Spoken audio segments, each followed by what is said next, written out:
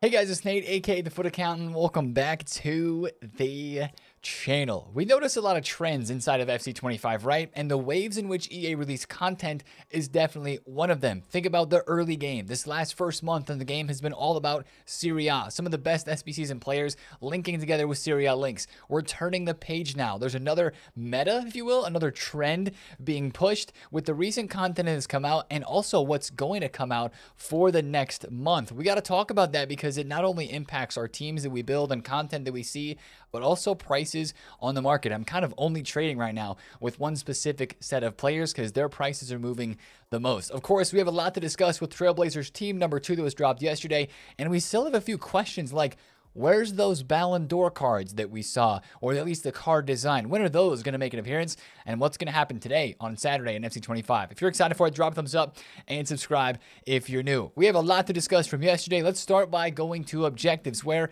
we might have had the best objective card released of the entire year so far. Nuno Tavares, guys. This card looks good if you still have the Evo available for Trailblazer Turbo. It's even better. Pretty easy to get done, right? We have a lot of Serie A players in our teams. I have, at least. So I'm going to be able to get this done just by playing Rivals. And the card itself looks really solid for a left back. Three star, four star, rapid plus, but he does have Anticipate, which is nice. He has whipped pass uh, regular, quick step as well, and long throw in. So it's not the most insane card ever, but it's a very usable card as a left back or a left mid. And he's got fullback plus plus, attacking wingback plus, false back. He's got a lot of options there for roles. And of course, this is what makes his card really crazy. If you put him into that Evo, if it's still available for you, he goes to 90 pace, 86 dribbling, 84 defending, and 83 physical. So really solid card here. I still have that Evo available just because I wanted to wait and see what was going to come out, and I'm kind of glad that I did. It's between this and uh, Lukeba for me. I never packed Antonee Robinson, but that is, I think, the best objective card, or one of the best, at least top two or three that we've had so far this year. That is a nice one, and it's not that crazy to get done, so make sure you go ahead and get that one done. Now, also, we have the daily play objective coming back. You have to win one game each day to get the objective done. Now, last week, week we had the Pulisic timed loan. This week we have Marmouche. Not a crazy card. I think Pulisic is probably better, but this one's pretty nice as well. Power Shot Plus. We'll look at his card in a little bit. There's also a thousand SP. Last week this didn't really matter because we were at the end of the season. This one actually matters, so we're definitely gonna have to get this one done. The 80 plus times 10 is in here as well, and the group rewards an 84 times 3. So make sure you win one game each day, and make sure you claim it right away. Last week I got done dirty by this objective because I forgot to claim it and it sat there and I missed out on completing the rest of the objective since I didn't get that one done and I didn't claim it. So make sure you go ahead and do that. That was objectives yesterday. Let's talk about where we started to see the trends moving for content on this game by going to Evos, right? Yesterday was the biggest thing we were looking forward to was this Hey Jude evolution, right? The Jude Bellingham inspired Evo. And guys, honestly, this is a big Evo. I mean, it's crazy though how it kind of creates the cards, like all the cards that come out of this almost look exactly the same because of the stat limits. That's one thing that I'm noticing from this. I don't know if you guys did or not. This is really, really cool. The upgrades are insane. The playstyle plus is nice. The weak foot boost, the other playstyles you get is really, really nice. But just notice how crazy similar a lot of the cards look that will come out of this. We'll talk about that in a second. First of all, I believe this Evo is somehow still glitched because there's a lot of people that have obtained everything or done all the things that you have to do. Basically, they've fulfilled the requirements. They've met the requirements to get this Evo, but it's not showing up. You have to claim it in game, but I even know for a lot of people, it's not showing up for them to claim in game. So hopefully EA, I mean, EA's been busy, guys. They tweeted out yesterday about the Rivals reward situation, people not getting the rewards. Didn't seem like it was that big of a thing, but it's actually becoming a bigger issue. EA FC Direct has been very busy uh, recently because there's been a lot of really small, annoying issues on this game, to be honest. And I think this Hey Jude Evo might be another one of those. But I want to show you guys some of the players you can create through this. The thing that keeps this evolution from being insane are the stat limits. And like I said, look at all these cards, man. Arda Güler, 80 pace. Every single one of these cards has 80, 80 pace on it and 85 shooting because that is the stat limit cap for the upgrades. Now, there are some crazy crackdowns here, like this Santi Cazorla card. Tough to link, of course, but what a card for him. That's pretty emotional there. This Enteca card looks pretty good. Of course, you get the Relentless Playstyle Plus on the item. The Curtis Jones inform does fit it. He looks good. Even Vidal fits this one, which is pretty sick. So again, it's it's just kind of a crazy Evo because you can either take somebody who is a bronze, like this Arsenal player. A bronze card goes into intro to stat limits and then into Hey Jude and comes out with basically every stat limit like hit 80 pace, 85 shooting, 82 passing, 85 dribble. He doesn't hit defense and physical, but that card looks almost the exact same as Paqueta, who ba- barely gets an upgrade compared to that bronze card. That's the thing with this Evo is that it just creates kind of a similar player for everybody. You know, it's cool. You're going to have a different person. You're going to have different play styles, but it, the stat limits I'm noticing are kind of limiting this Evo from making it looking super cool. So I think this Evo is like a 7 out of 10 because I think the upgrades are sick, but this Evo might be best used on a lower rated uh, gold card or maybe a bronze or a silver that you want to boost up and make them usable and look forward to using them for a little bit longer throughout the year because it almost feels like a little bit of a waste, at least to me, to even put somebody like Lucas Paqueta into it because you're like, okay, that does make him a lot more usable than before, but it's got to be an emotional player for you if you want to put them into this. So I like this Evo, but I also think it has a few downsides here or there. And then, of course, there are some cards moving on the market. Uh, like Curtis Jones was up at 23,000 coins yesterday. He's now back down because I don't think the Evo's like insane for him, but it's still good. So you have a card like that moving up a bit on the market. Let's talk about the other Evo that was dropped yesterday. This is where we see a first push in evolutions for the French cards. Le Bleu Evo we have here. This one is really create, creating some crazy pace stats for a lot of cards. If you look at the individual boosts here, you've got plus where is it? Plus 8 pace, but the max is 90. You get Tiki Taka, Bruiser, Trivela Plus. It's just, it's a wild conglomeration here of the different like play styles and stat boosts on these cards. Like, yeah, you can get an Upamecano with 89 pace, which is like, oh my gosh, that's an insane pace for a center back. Four star, four star as well. This looks like a sick upgrade for the stats.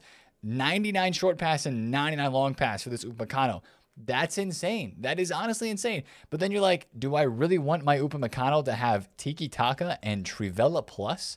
That really doesn't seem that hype for a center back. It's really weird how it boosts up the stats, but then the play styles don't necessarily fit the stats. So this Evo, I think, is maybe not as high as rated for me as a 7 out of 10, but it's pushing a lot of people to go do it because you can create a Kalulu Evo like this that if you kind of ignore the play styles a little bit, to some extent, you're creating some really insane cards with these stats. Like this Kalulu is one of the most popular ones. If you missed out on the Thuram SBC, you could, well, not anymore, but the Octopus, which if you did put Thuram into the Octopus, you can put him into this Le Blues now and get him to 90 pace. It's almost better than his SBC card. I think people that are looking for a more Trivela Plus friendly option here are going for Mathys Tel And then I'm probably, if I can get a hold of this card, to go for Odobert here and get a version like this for him. Hopefully get him to 90 pace and then boost up that shooting a good bit too. I won't have the intro to stat limits, but I don't know. This Evo for me is a bit limiting because you have to be a French player, but it is kind of pushing along that new trend because a lot of people see a Kalulu or a Konate or an Upamecano like that and they say, man, an 89 pace or a 90 pace center back, I want a part of that in my club. Now, of course, the French hype has been coming, right? We had the Sissoko card that was dropped literally one week ago today. This is what really started a lot of the French hype like this last week, but it looks like it's going to be continuing as well, right? The world tour that we have this season and the whole part of Centurion's season number two with these world tour cards is it's French, right? We've got Tolisso who's in the season pass. We had the Thauvin SBC that was released. And of course, we have three French cards that are in the team as well. And you can tell by the market that this is kind of just where the market is moving. Like Julie was 50K on Monday. He went all the way to 73,000 coins yesterday. And that's why I was saying I'm only trading with specific cards in this market right now because stuff that is moving the best are French cards because people are buying French cards to link together, especially a guy like Sissoko, who's a bit harder to link.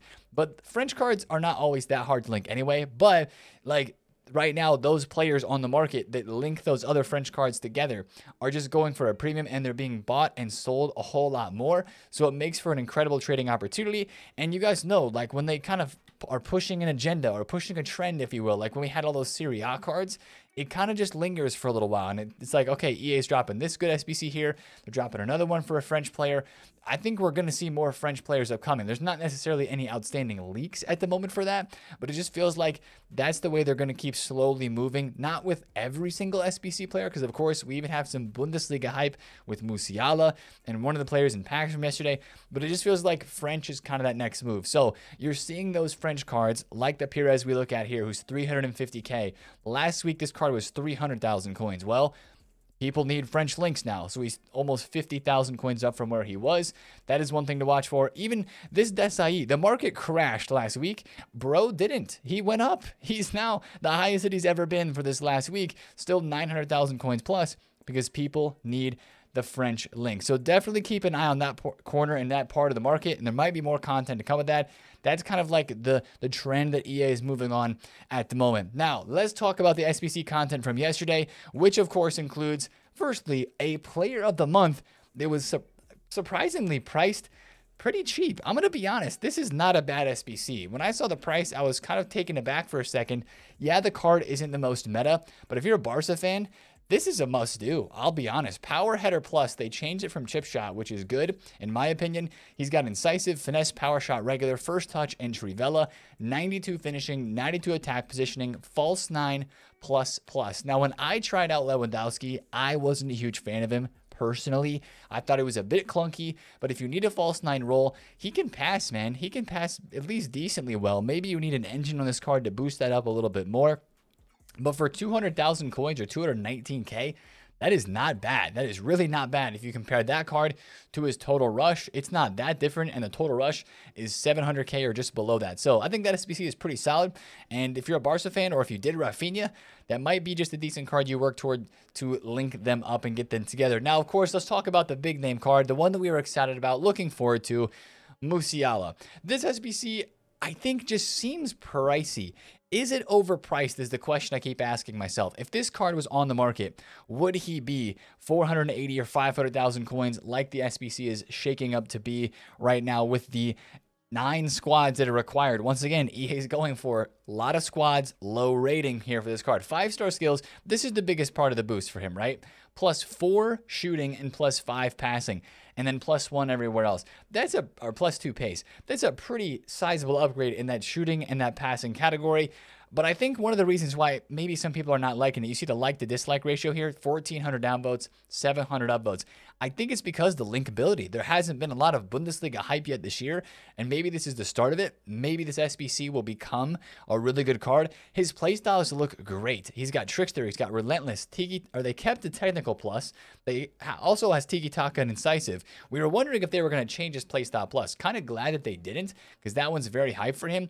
And he's got Shadow Striker Plus Plus as well yeah, it's really just the shooting and the passing boost and the ability that he has to play either a cam, a center mid, or a left mid role with a plus role in each of those, if not a plus plus for cam. I don't know if I like it, but now after saying I was going to wait to see what Musiala was to figure out if I'm going to do Robbie Keane or him, kind of lead towards Robbie Keane right now just because he's cheaper. Yeah, he's still eight squads, but it's less fodder to put into an SBC. And I don't feel like I'm going to be missing out if I miss out on Musiala. So you kind of have to make the decision for yourself. This is like a card that you want to kind of go into and say, I want to put this player to my team as a cam or a box to box CM that I could use for a while. If I have links for him, then go for it it's just not it's not as insane as Rafinha, I don't even think. I think it's good. I think Rafinha was maybe better though. I don't know. Just let me know down in the comments what you think about Musiala. But if, I think for most people, it doesn't move the needle for a number of reasons. 81 plus Team of the Week upgrade was released once again this week on Friday, as it is every week. And then a Trailblazers Challenge 4 is the SBC content from yesterday. Now, since we're talking SBCs, let's talk about fodder because fodder, of course, dropped a little bit as we got past the content drop, as there were some store packs that were tradable. A little bit of extra supply there in the store. Not a crazy amount, but maybe a little more than expected. Fodder's not down that much, though. Like, of course, these 85s did reach peaks of maybe 6.5 8,000 coins before content yesterday, and they've been kind of dropping since, but they're only down to 5.8k. I think as we near the icon pack going away, these cards are probably going to drop some more, and I know a lot of you guys are going to be looking to invest once again this week because we're probably going to get another pack on Sunday, whether it be a hero pack, which I think it might be a hero pack with no maximum rating. That is the pack that's been added to the code most recently. It's just a base hero pack, and it was added just a couple days ago. So we would expect maybe that that would come out on Sunday. But ahead of that, preparing for it, do we need to invest in fodder right now? Honestly, I think maybe you just stock a little bit in the club if you want to do that. But maybe the way to go about it is waiting until we get to later in tonight, late tonight, Saturday night, early tomorrow on Sunday with squad battle rewards because that always brings supply. And you guys know me, I like buying fodder when it's either being panic sold or when it's being supplied because then you have the best opportunity to buy for low prices. Yesterday, of course, fodder on a promo Friday. Always good to trade with. You can always get on fodder bids and flip cards. That's easy coins. If you sit there and grind the market, I know it's a bit tedious and annoying, but it's easy coins every single week. I think I would wait to buy fodder until we get to tomorrow. Let's see if it drops more today. It's not like there's going to be a new SBC coming out today for a pack that we would expect to move things too much. This icons, you know, got one day left. Most people have probably done it that are already going to go ahead and do it. So I think for 85 to 88 rated, if you want to buy again this week, and if fodder has a chance to go up for a third week in a row, I want to see it go down just a little bit. I want to see it go down. A, a, base hero pack would be very hype with no capped rating because then you can get those top tier heroes that have not been packable yet. But I want to see fodder maybe drop down just a little bit more before we get to that. Now, let's talk about team two of this promo team, Trailblazers team two that was dropped yesterday. I'm sitting here looking at this team going, I don't think it's better than Team 1. It's good. There's some gems. Marmouche, he's a gem. Power Shot Plus, love the change there. Fun card to try, right? Ousmane Dembele, really nice card. That 80 shooting is nice there. Trinity Rodman might be one of the most overpriced cards in the game at the moment. Yeah, sure, I get it. Trickster Plus for me, eh, it is what it is. I know it's very meta. People like the, the animations and the fake shots.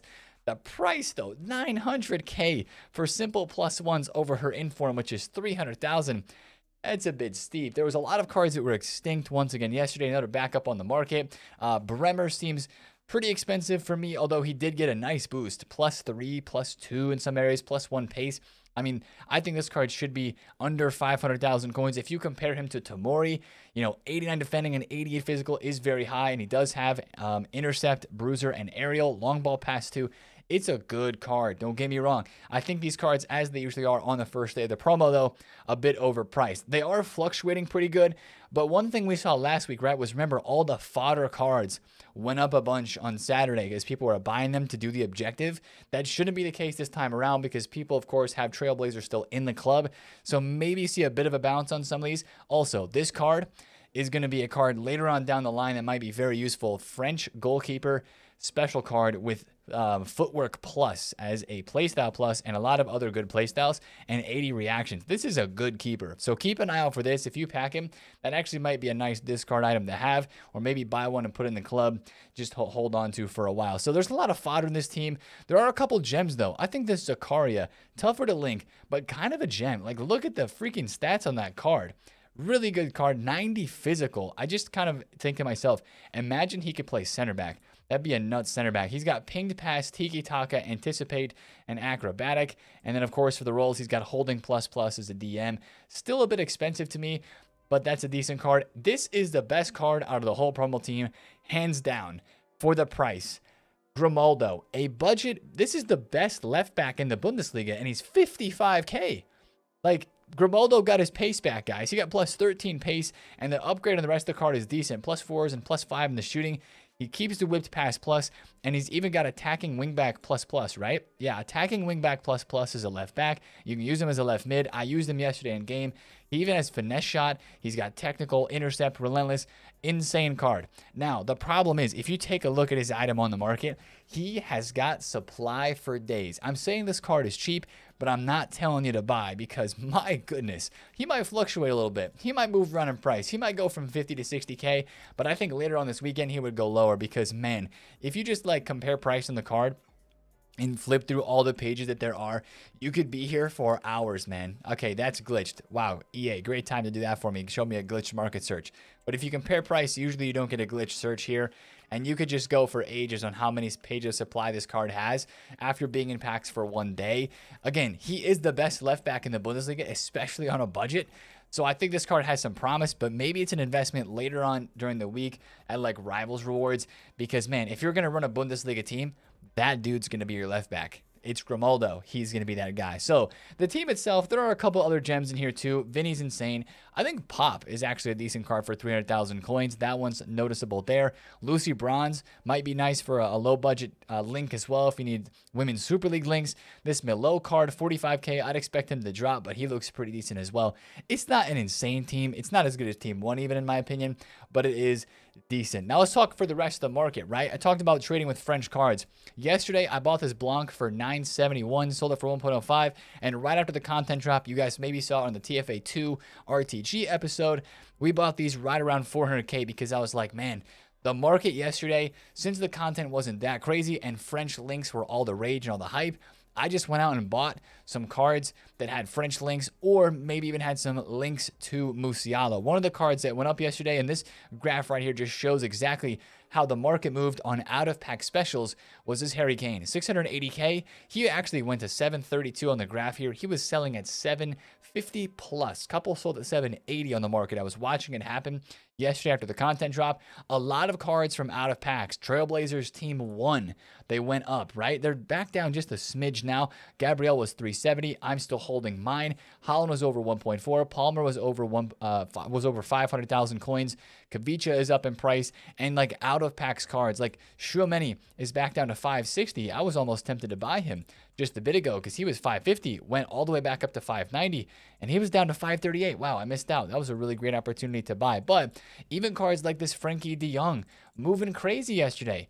At the content drop, 1.1 mil, huge spike in the hour or two after content as people went back out and started buying players for their teams. That was the best opportunity to trade in and out of yesterday was the crazy spike after content when people saw what was released and was like, eh, it's okay. I'm going to go buy my team and play weekend league. So I'm not loving how the market feels though after that bounce because it's not like the market bounced and it stayed up. It's like the market bounced and then kind of came back down for a lot of the cards. Some of them are still up.